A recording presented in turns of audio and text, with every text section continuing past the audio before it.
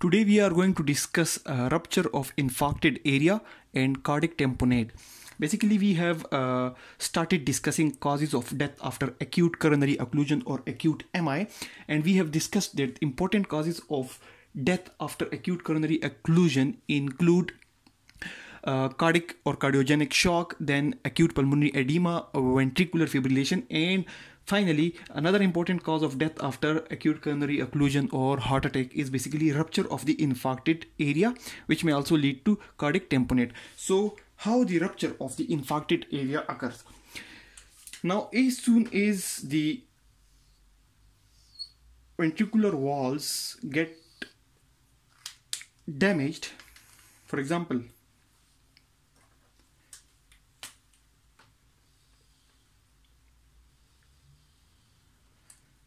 this portion of for example this portion of the heart muscles are being supplied by this coronary artery. And here we get an occlusion. This artery is blocked. And we label it as acute coronary occlusion. Now a lot of uh, things can happen. Like cardiogenic shock can occur ventricular fibrillation can occur and acute pulmonary edema can occur because heart has been damaged. The ventricular walls have been damaged. They, the heart cannot contract properly. So a lot of complications can occur. But one important complication is a rupture of this area. Now how the rupture will occur?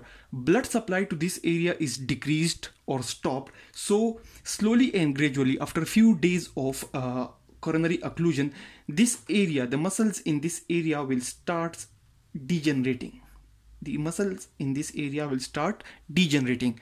And when the heart muscles are contracting when the heart muscles are contracting this area will start bulging out. This area will start bulging out.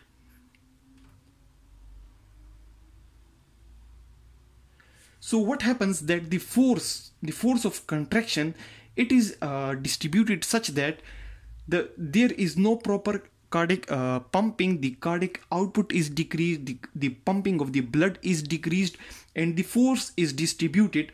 Now the normal force which should uh, be applied to the heart walls it goes out here in this portion which is known as systolic stretch. Systolic systolic stretch. Now in systolic stretch the whole of the heart muscle is basically going inside in the contraction process. And the force is basically distributing in the uh, ventricular walls or the uh, muscle in the muscles or the heart walls. But this area which has been damaged this area basically it moves outward.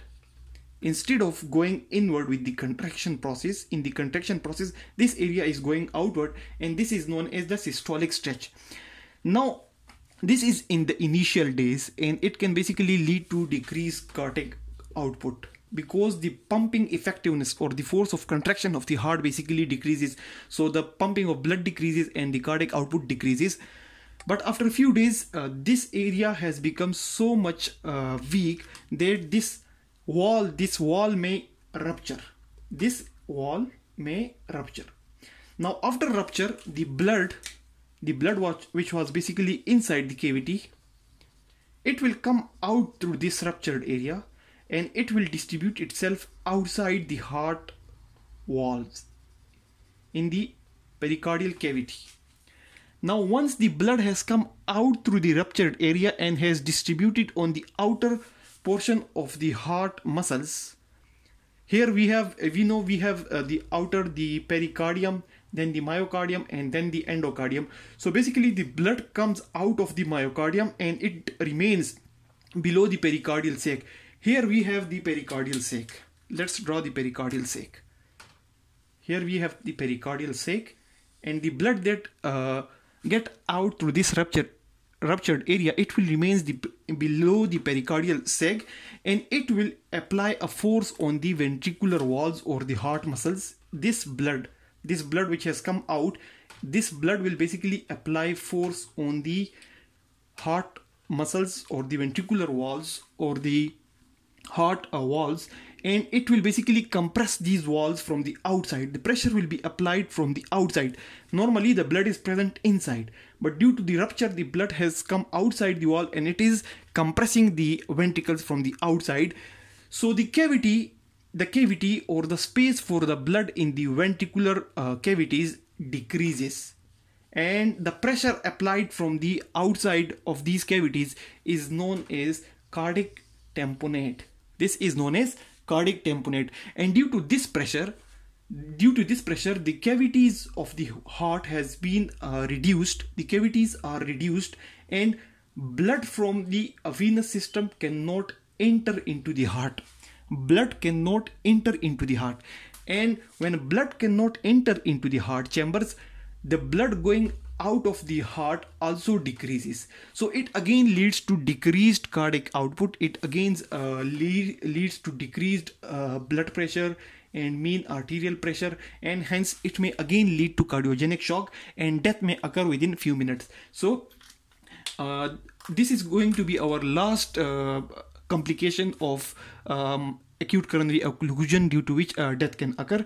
And this is basically the rupture of infarcted area which can lead to card cardiac tamponade and what happens is that soon after uh, acute coronary occlusion the area which was supplied by this blood vessel this is uh, uh, this is not receiving proper amount of blood so it starts degenerating and it goes out uh, with the contraction of the heart. Rather than participating in the contraction it is going out which is basically known as systolic stretch.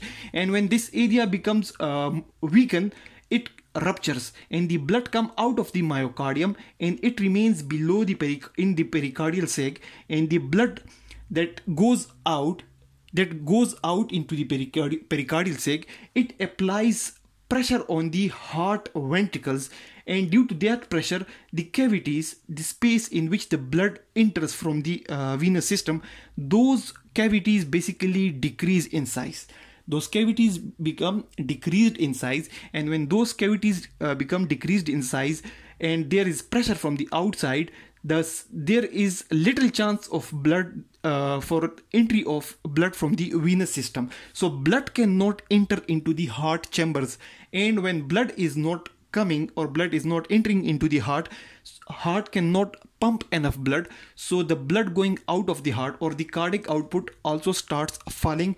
The blood pressure starts falling and the mean arterial pressure starts falling and uh, cardiac shock can develop. And if uh, it is not treated on emergency basis it can suddenly lead to uh, death within few minutes. So that's all about the uh, causes of death after acute coronary occlusion and rupture of the infarcted area which basically leads to cardiac tamponade thanks a lot for watching the video